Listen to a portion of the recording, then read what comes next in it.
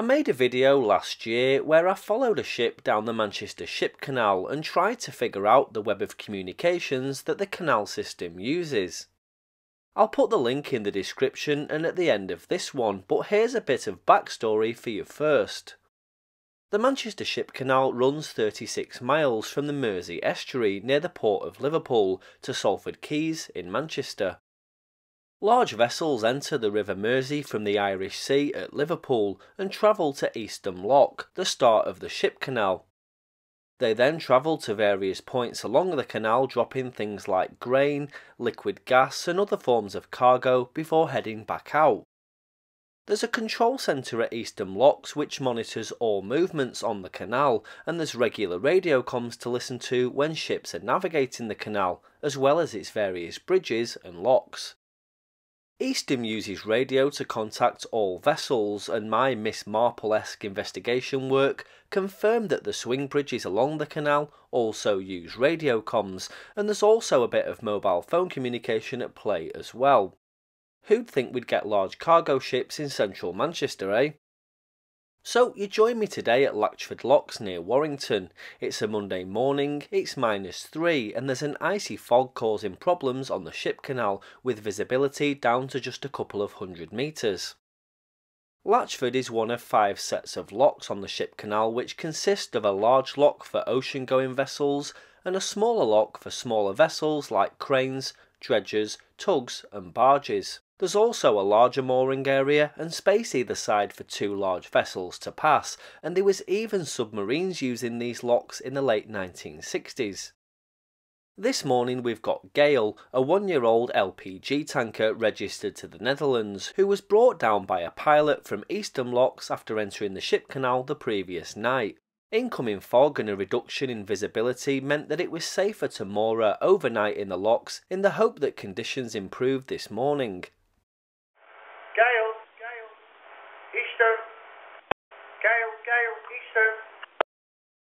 Eastham has called Gale a couple of times over the radio, but the captain hasn't responded yet. But as I arrive, signs of life start to show on board Gale. There's a crew of nine, and they're prepping the vessel to leave the locks. Not long after, the pilot boards Gale and calls Eastham to give some information and let the controller know they intend to depart. Eastham, Eastham, Gale. Gale, Eastham. Eastham, Gale, yeah, good morning Tom. On board now, we've just run us up in Latchford. Uh, what we got, 4.6 draft, 9 plus 1 on board, no defects. I'll speak to the you know, I believe he's on his way down. Uh, okay, understood, yeah. Making good progress. Thank you. Cheers, Tom, yeah. At the end of the transmission, they mention Imi, a 29 year old general cargo ship registered to the Bahamas. Within minutes, a black shape appears in the mist further up the canal. It's Imi, and she's left a mooring at the old Partington coaling basin an hour or so earlier, and is now heading towards Latchford Locks. Just before Eastham contacted Gale, they contacted Imi to report visibility conditions along the canal. Imi, Imi, Eastham. Uh, yeah, on the camera now, um, it's looking worse, the visibility from Latchford Locks, looking upstream. I'd say it's around two to three cables. Um, looks like it's closed in since we last spoke. All right, okay. Thanks, Tom. Well, we're committed now anyway, so uh, I'll take it easy to get down towards um, Warburton. Thanks, Tom. Yeah, sorry, I tried to call the Gale, but the captain mustn't be covering the channel, uh, which he should be because he should be sailing in 20 minutes. But um, can't get hold of him. The lock that Gale is sat in is almost full, and the pilot contacts Imi to discuss possible manoeuvres once Gale is out of the lock. Imi, Imi, Gale. Gale, Imi, hi Phil, uh, we're past the station pumps now, and we're a couple of minutes away from the ferry. Uh, visibility's been good all the way, really. Worst bit looks like Latchford, but uh, no problems at the moment. Okay, well, they're just running us up here now, so we're not top level yet. So when the gates are open, either we'll go in the sluice way if you want, or you put your bow in whichever is first if you want. Yeah, okay, well, um, yeah, we'll just keep coming gently and then uh, just give us call when you're ready, yeah? Okay, cheers, man.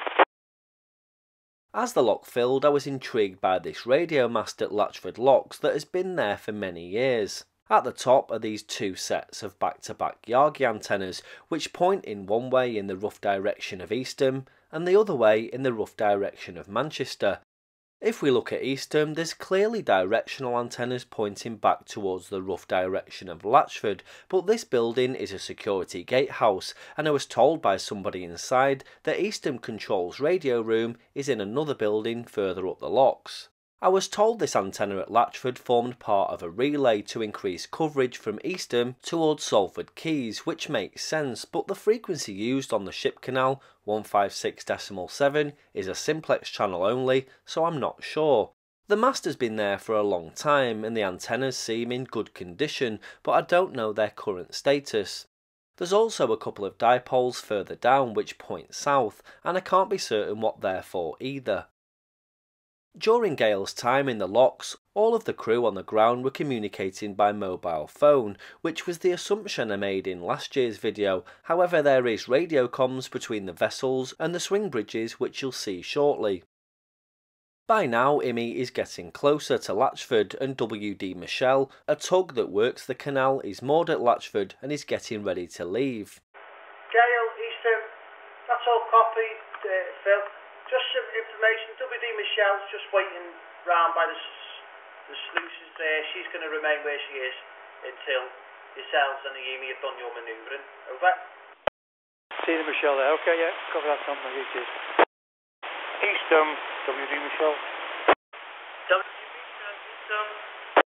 Yeah, Eastham, we'd like to leave the top level of uh, Latchford here and make our way up to Barton. Over. Once girl clear, then you can pass off. Yeah, Eastham, WD Michelle. Uh, we've got the Emmy in the lock there now. And um, I'm going to leave the sluice way here, top of Latchford, and make my way up to Barton. Behind the uh, Gale over. Yep, that's affirmative. The tug will wait for Gale to exit the locks and then follow her up the canal on separate duties. Imi slows down to almost a stop as she approaches the locks, which by now are full. The huge gates are opened to allow Gale to exit. Her rope is pulled aboard and she slowly exits the lock, keeping out of the way of Imi.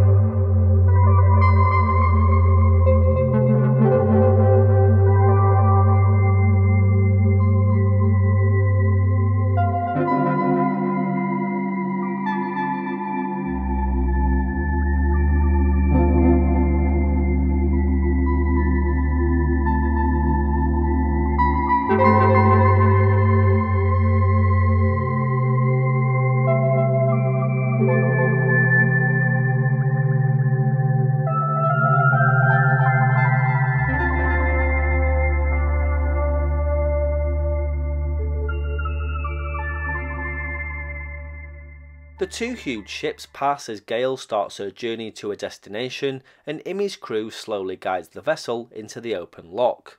This isn't the last we'll see of Gale today, but we'll leave her for now as she navigates the canal towards Partington, followed closely by WD Michelle. Imi then enters the lock and comes to a complete stop. The gates close behind her, and water is slowly released out of the opposite set of gates to drop the huge ship down into the lock. The process is slow and takes a while. By now the freezing fog is back and visibility on the ship canal is extremely poor. Imi's pilot calls Knutsford Road Swing Bridge half a mile ahead to ask about visibility, but these transmissions were recorded from home and my home setup couldn't hear their response, but it does confirm radio comms between the swing bridges and the ships. Uh, Knutsford Road, Knutsford Road, Imi. Yeah, morning, I was just wondering what the visibility is like, can you see? Alright, um, okay, I can't see anything down the canal at all. Moore Lane, Moore Lane. Imi. The visibility is getting worse, and Imi's pilot can't see more than about 200 metres ahead at this point. He then calls Eastham to ask for visibility reports, and Eastham's controller checks the remote cameras at Knutsford Road Swing Bridge. Eastham, Eastham, Eastham. Hi, Tom. Um, have you got any visibility reports along down from Latchford at all anyway?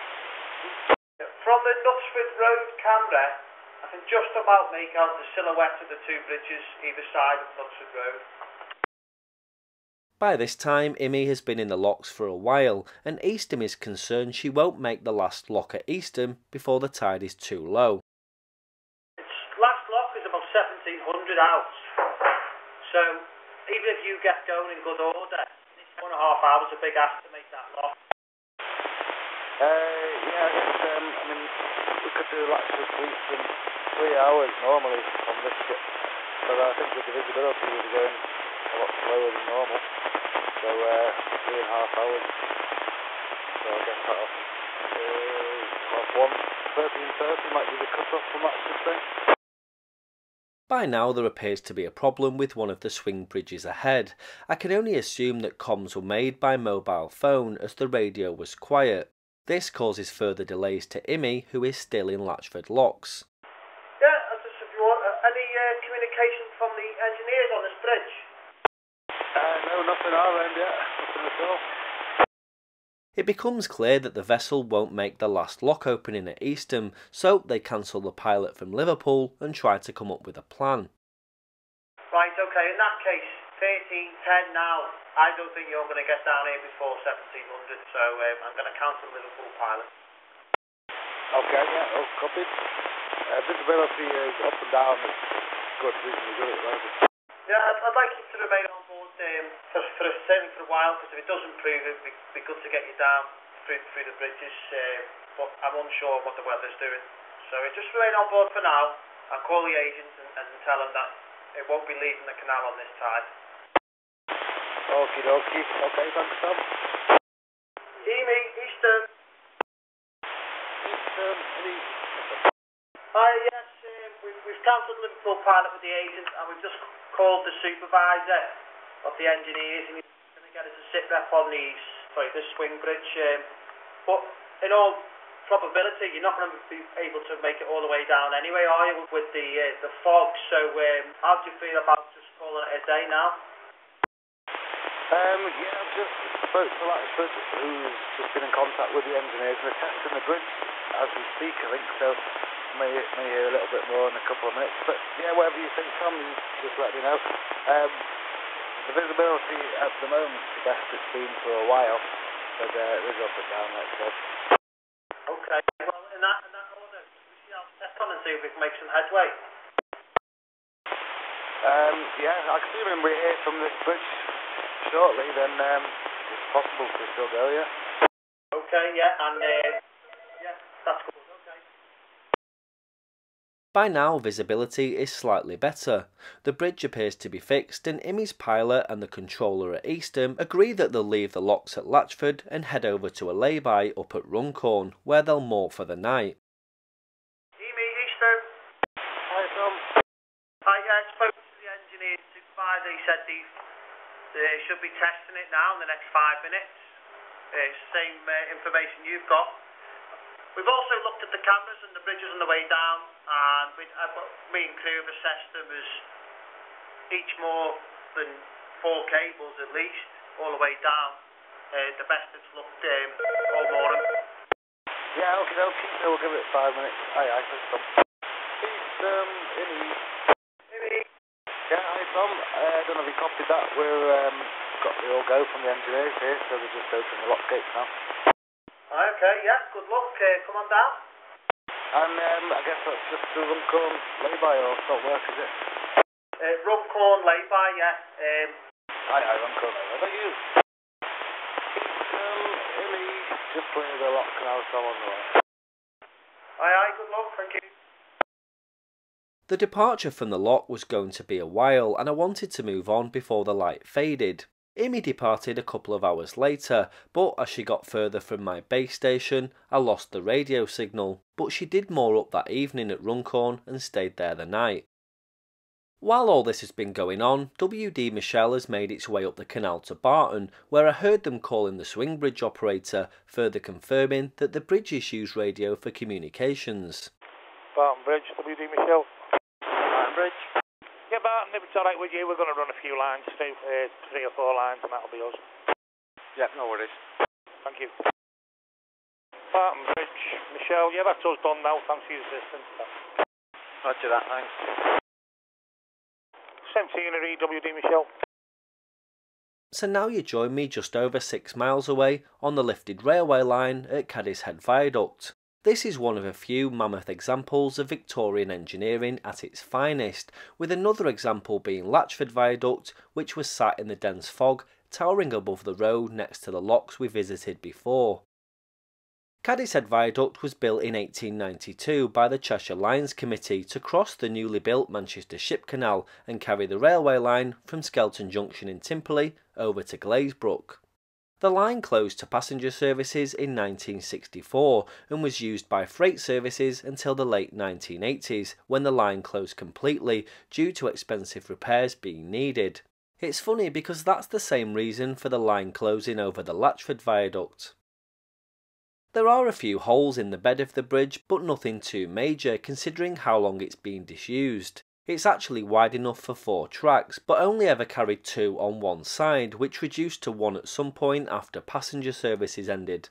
The other side was used to carry cables and pipelines across the viaduct. There are plans to open a heritage route over the bridge, but saying and doing are two different things, and the bridge requires extensive restoration, likely costing millions of pounds. Metal containers were placed here to stop people crossing the viaduct and to stop fighting between rival estate gangs in the 1980s, although you can access it if you know where to go. Down below is the remains of a railway viaduct at low level that carried the original deviation of the line, and just to the western side, low down, is the reason why we're here Gale. She's been here just over an hour or so offloading liquid propylene gas into the pressurised pipeline at Bursell. Now the light is fading and temperatures are continuing to drop fast, so we'll leave our voyage of detective work here. Imi is tucked away at Runcorn for the night, and Gale will stay at the old coaling basin for the night before likely picking up her pilot in the morning and returning back to Latchford Locks. The next day, visibility improved and things got back to normal. You can see Stenberg, a mixed chemical tanker leaving Eastham Locks, heading for the port of Liverpool after dropping off whatever she was carrying. Oh, and before I go, someone at Latchford recognised me, said hello, and said they loved the videos. So, if you're watching this, I hope you enjoyed it. And to everyone else, I'm off home after 8 hours of filming in sub zero temperatures. See you next time.